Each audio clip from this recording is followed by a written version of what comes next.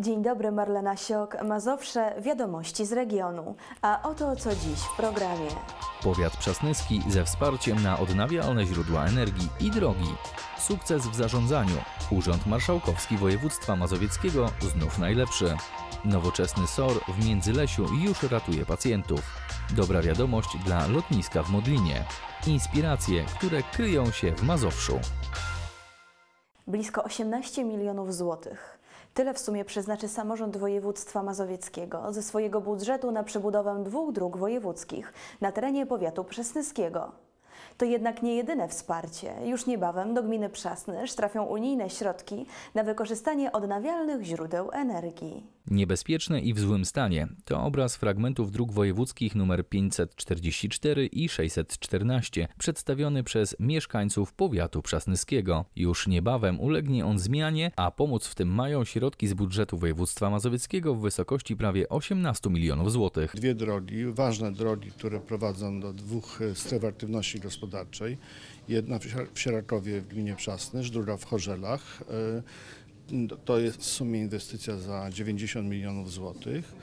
E, Mniej więcej po połowie te drogi będą finansowane. To oznacza dobry dojazd do tych stref gospodarczych, ale też oczywiście aktywizację tego obszaru, poprawienie bezpieczeństwa, wszystko co ma związek z już wysokim standardem tych dróg. W przypadku drogi wojewódzkiej nr 544 projekt obejmie dwa odcinki od miejscowości Zawadki do granicy powiatu przasnyskiego z powiatem makowskim oraz od granicy miasta Przasnysz do granicy powiatu przasnyskiego z powiatem ciechanowskim. Natomiast jeśli chodzi o drogę wojewódzką nr 614 zostanie rozbudowany ponad 17-kilometrowy odcinek od skrzyżowania drogi krajowej nr 57 z drogą wojewódzką nr 614 w miejscowości Chorzele do granicy powiatu przasnyskiego z powiatem ostrołęckim. Chcemy zmienić e, ob- obraz tych dróg.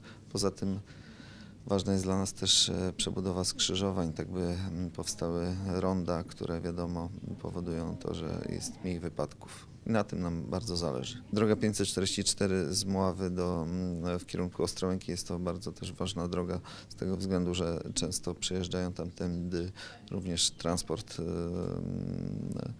towarowy, czyli samochody tiry, e, które również to wpływa na bezpieczeństwo mieszkańców, to wpływa na to, że region może się komunikować też, czyli Przasnysz z innymi e, miejscowościami i e, również biznes ulokowany w Przasnyszu, a szczególnie nam zależy na, na tym, e, żeby miał takie okno na świat. Te drogi będą na, naszym oknem na świat. Zmiany czekają także gminę Przasnysz. Wkrótce stanie się nie tylko nowoczesna, ale co ważne ekologiczna. Wszystko za sprawą instalacji wykorzystujących odnawialne źródła energii. Wartość tego projektu 8 milionów 600.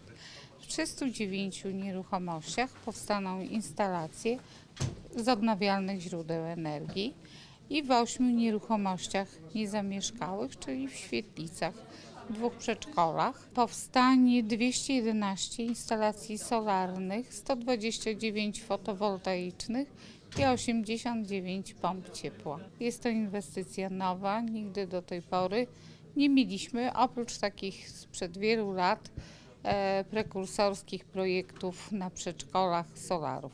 Zebraliśmy dosyć szybko beneficjentów, zebraliśmy ich potrzeby, chcieliśmy ułatwić e, życie mieszkańcom, no i unowocześnić nasze działania i działania w gminie. Wszystko to, co e, oszczędza, co chroni środowisko, zmniejsza e, jakieś toksyny w, w środowisku, tu gdzie chodzimy, to wszystko służy naszemu zdrowiu. Myślę, że e, będzie to dobry krok dla przyszłości, dla naszego zdrowia. Gmina realizuje inwestycje w partnerstwie z powiatem przasnyskim, gminą Krasne i gminą Sońsk. Decyzją Zarządu Województwa Mazowieckiego projekt otrzyma blisko 5 milionów unijnego wsparcia. Sukces, do którego przyczynili się wszyscy pracownicy Urzędu Marszałkowskiego Województwa Mazowieckiego w Warszawie. Mowa o diamentowej statuetce w konkursie Lider Zarządzania Zasobami Ludzkimi, którego organizatorem jest Instytut Pracy i Spraw Socjalnych. W konkursie Urząd Marszałkowski bierze udział już od trzech lat. Każdy urząd to przede wszystkim ludzie. W przypadku Urzędu Marszałkowskiego Województwa Mazowieckiego w Warszawie kolejne nagrody potwierdzają, że pracownicy, którzy go tworzą, nieustannie dbają o rozwój tej instytucji. Tytuł lidera zarządzania zasobami ludzkimi należy właśnie do nich. To bardzo ważna nagroda, e, nagroda pod patronatem ministra pracy, e, gdzie organizatorem konkursu jest Instytut Pracy i Spraw Społecznych. Chodzi o zarządzanie zasobem ludzkim, czy tak naprawdę zarządzanie ludźmi. ludźmi. E, Urząd Marszałkowski wystartował w, tej e, w tym konkursie po raz trzeci i nasze dokonania były na tyle istotne i zdobyły uznanie e, i u audytorów, i w jury oceniającym, że otrzymaliśmy diamentową statuetkę, co jest bardzo wielkim wyróżnieniem. Misją i celem konkursu jest propagowanie dobrych praktyk, promowanie wysokich standardów zarządzania ludźmi w organizacjach oraz wyróżnienie szczególnie innowacyjnych rozwiązań wpływających pozytywnie na jakość zarządzania. Jest to wyraz, który e, kapituła oddała naszemu urzędowi, naszym pracownikom, bo to, że jesteśmy liderem, to są nasi pracownicy. To znaczy, że oni em, tak em, przyjmują tę organizację i tak chcą w niej pracować, żebyśmy właśnie mogli cieszyć się tym zaszczytnym tytułem. Urząd Marszałkowski Województwa Mazowieckiego w Warszawie wraz ze swoimi delegaturami liczy ponad 1200 osób. Jego rozwiązania, które doceniła kapituła, to m.in. praktyki u marszałka, Rada Dialogu Pracowniczego, działania prozdrowotne, a także możliwości podnoszenia kwalifikacji zawodowych. Okazuje się, że nasze narzędzia, y, nasze rozwiązania naprawdę y, nie ustępują tutaj y, rozwiązaniom z korporacji. To, z czego mogą korzystać pracownicy urzędu, to przede wszystkim bardzo y, fajny, kompleksowy program adaptacyjny, indywidualny program mentoringu, na który może liczyć każdy nowo zatrudniony i powracający po dłuższej obecności pracownik. E, Ponadto też no, nowoczesne warsztaty, takie jak chociażby Freeze czy narzędzia typu Extended Disk, to są wszystko narzędzia, z których dzisiaj się korzysta. Wygrana urzędu w konkursie lidera zarządzania zasobami ludzkimi to kolejny sukces odniesiony na forum ogólnopolskim na przestrzeni ostatnich lat. Dzięki kompetencji i kwalifikacjom ludzi w nim pracujących możliwe jest budowanie jego pozycji w świecie tak szybko zmieniających się przepisów i regulacji. Udziela pomocy pacjentom w stanach nagłego zagrożenia zdrowia i życia. Szpitalny oddział ratunkowy. Ten przy międzyleskiej placówce przeszedł gruntowny remont. W zasięgu jego obsługiwania są nie tylko mieszkańcy Wawra, Rembertowa czy Wesołej, ale również gmin Halinów, Józefów, Otwock, Wiązowna i Sulejówek. Funkcjonowanie SOR-u w tym miejscu jest niezwykle istotne, a jego modernizacja pozwoli na poprawę bezpieczeństwa okolicznych mieszkańców.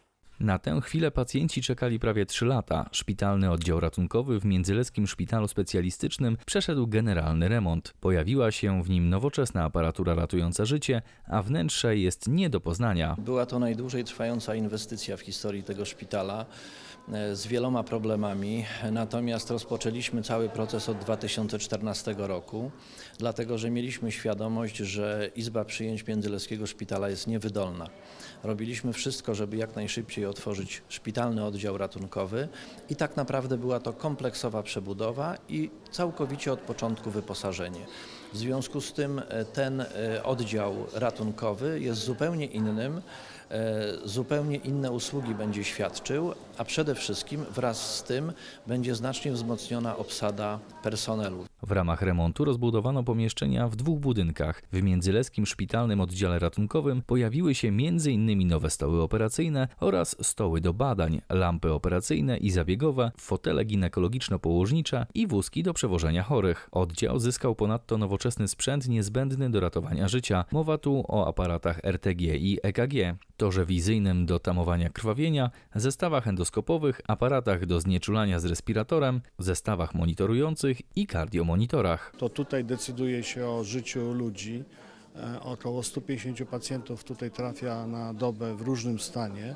E, Jest to w tej chwili najnowocześniejszy oddział nasz, e, szpitalny oddział ratunkowy, w, myślę, że w województwie. Ponad e, 12 milionów złotych zainwestowaliśmy tutaj to w modernizację pomieszczeń, rozbudowę, ale też najnowocześniejszy sprzęt diagnostyczny e, i taki, który umożliwia ratowanie życia e, i najbardziej nawet skrajnych przypadkach e, umożliwia resuscytację, umożliwia też e, wstępne rozpoznanie chorób. Także e, to jest tak zwany e, taki rdzeń, rdzeń szpitala wielospecjalistycznego. Całkowity koszt modernizacji to ponad 12 milionów złotych, z czego aż 11 milionów 900 tysięcy to pieniądze przyznane przez samorząd województwa mazowieckiego. Wspólnicy spółki Mazowieckiego Portu Lotniczego Warszawa-Modlin podjęli decyzję w sprawie podniesienia kapitału.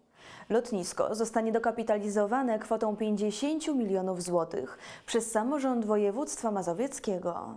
Są środki na rozwój, modernizację, a przede wszystkim rozbudowę terminala na lotnisku w Modlinie. Po dwutygodniowej przerwie podczas drugiej części zgromadzenia wspólników została podjęta kierunkowa uchwała umożliwiająca zwiększenie kapitału spółki o 50 milionów złotych przez samorząd województwa mazowieckiego. To oznacza, że e, jeszcze w większym stopniu będziemy, weźmiemy odpowiedzialność za siebie i te 50 milionów przeznaczymy na oczywiście e, rozbudowę terminala, ale też na modernizację i e, odbudowę e, dróg kołowania i pewnych elementów infrastruktury, które jest niezbędne. No, to daje nadzieję na to, że w najbliższym, ciągu najbliższych lat e, po pierwsze spółka będzie stabilnie funkcjonowała, a po drugie, że rozwiniemy ten port na tyle, że będzie mógł obsłużyć nawet 6 milionów pasażerów. Czy taki rozwój sytuacji pozwoli przerwać impas trwający na lotnisku w Modlinie? Zdaniem marszałka Adama Struzika w pełni będzie można powiedzieć o tym, gdy uchwała zyska prawomocny charakter. Musimy teraz podjąć oczywiście działania, żeby te pieniądze zabezpieczyć w naszym budżecie. Musimy też wykonać tak zwany test prywatnego inwestora, żeby uniknąć zarzutów o niedozwoloną pomoc publiczną, ale myślę, że to przez to przebrniemy i y, to oznacza, że jeżeli będzie ta ostateczna zgoda po tym procesie, no to, to oznacza, że y, mm, został odblokowany rozwój y, portu lotniczego w Modlinie. Jak podkreślają władze samorządu, port lotniczy Warszawa-Modlin ma ogromne znaczenie w obecnej, jak i przyszłej sieci lotnisk na Mazowszu. Dlatego jego rozwój jest bardzo pożądany. Samorząd Województwa Mazowieckiego wspólnie z Mazowieckim Samorządowym Centrum Doskonalenia Nauczycieli kolejny już rok podjęli się realizacji projektu Lekcje o Mazowszu. Ideą przedsięwzięcia było podniesienie wśród młodzieży świadomości o regionie, budowanie więzi lokalnych oraz poczucia przynależności wśród najmłodszych Mazowszan. Szkolny mazowiecki dom zagadek, w którym uczniowie współpracują ze sobą, by zdobyć klucz do kłódki i otworzyć skrzynię pełną niespodzianek. To pomysł na ciekawe zajęcia Małgorzaty Kostian, anglistki z Warszawy, laureatki drugiej edycji konkursu Lekcje o Mazowszu, organizowanego przez samorząd województwa. To są y, zadania inspirowane różnymi aplikacjami, ponieważ jestem fanką, nowoczes fanką nowoczesnych technologii. Y, Dzieci pracują w grupach. Y, Mniej więcej zabiera im to do godziny. Jeżeli trzeba, możemy przedłużyć czas. Mój cel jest taki, żeby, żeby zainspirować dzieci, natomiast dzieci mają poznać smaki regionu, mają poznać y, muzykę regionu i y, również zapoznać się z biografiami wielkich ludzi. To jest coś, co dzieci y, inspiruje i motywuje do pracy.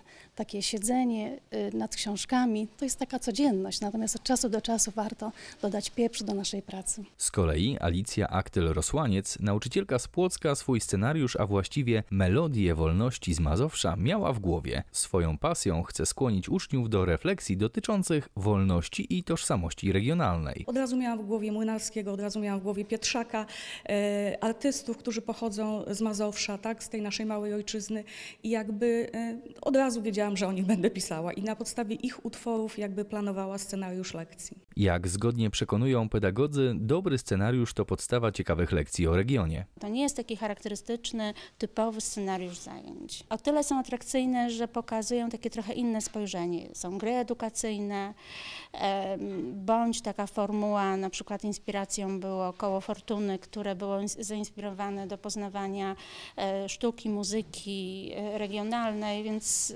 tak to wygląda. Dobry scenariusz to taki, który jest najbliżej życia.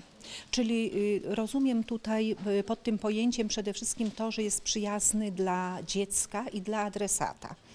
y, nie da się w jednym zdaniu powiedzieć dobry scenariusz.